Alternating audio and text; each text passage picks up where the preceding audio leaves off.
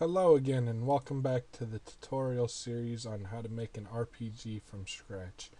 In the last tutorial we began making our transitionary tiles. I hope you can see the cursor. It came out good last video but this video, who knows, um, I'm uploading at the same time so hopefully uh, the video won't be too choppy and all but besides the point. Um, in the last video we began making our transitionary tiles and uh, we've actually started developing a pretty decent source texture and uh, what I want to do in this video is um, begin to organize these source textures and go ahead and um, finish up uh, everything that we'll need to basically create um, these continents and that would be the basic starting point for our game and it's already starting to shape up as you can see. And uh, what we'll do is we'll just uh, in this video we'll go ahead and, and expand upon that a little bit so the first thing I wanted to do is go ahead and kind of organize these just a little bit here. And we're going to anchor that guy there. And we'll take this one. And I'm going to hit Control X, which cuts it out. And Control V to move him over here. Because that's logical. That goes next to there.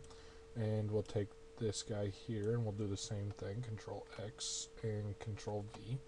So we can move him over here and uh, we'll do the same thing with this guy and this will be the start for our source texture here. And these don't have to be exact. We're just uh, basically doing this for convenience so that we know what we have and kind of start to organize this in, in a logical way. And we have one more tile that we have not yet included and that would be this guy right here. So we'll copy this guy and paste him and we'll bring him over here. So now we have just these four, um, well, one, two, three, four, five, five basic source tiles. And from that, um, you can see we can already create vast landforms and continents and vast seas, and it looks all pretty seamless thanks to GIMP's filters and the features therein. And uh, what we're going to do is basically we'll expand upon that and this this image right here is just for our purposes right now. I'm just making sure that you guys can see kind of where it's going. Um, in, in, actuality, when we start to, to do the programming, we'll have a source texture that looks similar to this. We'll fill it in with all the rest of these um, transitionary tiles, and um, what the compiler will do is it'll pull um, each one of these textures and place it in the correct spot according to our memory map. But uh, that's jumping ahead a little bit. So let's go ahead and, and continue working here um, like we did the last time. Um, what we'll do is uh, let's continue this, this diagonal um, transitionary tile here, which creates interesting effects on this front. And uh, we'll, we'll do that so that it goes uh, this way, this way, and this way. So we'll have an additional three tiles to create here. So we'll start by, again, taking the water tile, copying it and pasting it, and let's get a new work area over here. And we'll take a grass tile and do the same thing, copy, paste, and we'll put that guy over here. And let's take the zoom tool and we'll zoom, oh, we'll zoom in not that much, we'll zoom in about there. And uh, from our source texture over here, let's zoom out a little bit.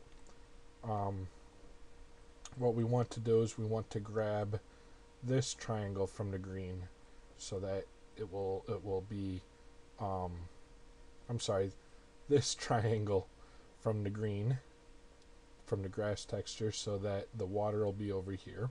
So we want this upper right hand triangle of this texture here. So we'll we'll go ahead and use this tool. We'll anchor that guy there. And what we're going to do here is we're going to use the free select tool again. And we'll go to this point, to this point, to this point. And then we'll just do our normal little jagged edge guy. It can be natural. It doesn't have to be the same as the other one. And the more variation we do, the better. Usually, generally, that's how it works out anyway and we'll connect it right into the corner there and we'll control copy that guy and we'll use this tool because it works a little bit better. We'll paste and we'll move him just like that there. And we'll set that so that it gets nice and in there. And there you have it. We have that texture now. And we'll go ahead and select this whole new tile. And before I commit this to our um, source textures, our source texture, our beginnings of our source texture. Excuse me, I'm getting a cold here. Um, I wanted to make sure that it just um, matches up nice with all the different tile sets, and as you can see, that looks pretty good there. And uh, what we'll do is, is we'll, we'll make sure it lines up pretty nice there and, and, and, and there with this transitionary tile so that we can see that it, it goes in fairly well. And that looks pretty good to me. So we'll take this guy and we'll commit it right here to our source texture. And uh, let's do uh, let's do this again. We'll, we'll take uh, we'll take this texture here and we'll go ahead and get rid of them because we don't really need them anymore. And we'll take a brand new water texture here copy it and paste it. And we'll bring it over here and now we want the green on this diagonal because it's kind of the way I'm setting this up. So we'll take the green from this upper left diagonal here. And let's zoom in a little bit so we can get this uh, nice and good. We're going to anchor the water tile up there. And we'll use this free select tool once again. And we'll start from here and we'll go to this corner, to this corner. And we'll just make our nice little jagged edges make it nice and natural, the random, the variation there, just like you'd see in a natural setting. It's uh, it's very good, and we'll connect that in there like that. And we'll switch back to this tool. We'll copy that selected image from there. We'll paste it, and we'll move it up here like that. And there you have it. And we'll take this guy here I'm actually going to do this all in one foul swoop. Control X, which cuts it. And we'll move over yonder. And let's zoom out a little bit before we do anything else. And let's make sure this uh, fits in nice with our little kind of prototype and image, I guess you could call it. Select this tool and paste right in there. And as you can see, it transitions nicely from there. And uh, from these tiles as well. It doesn't look too too shabby, and it transitions well on that front. So I can go ahead and commit that to our source texture.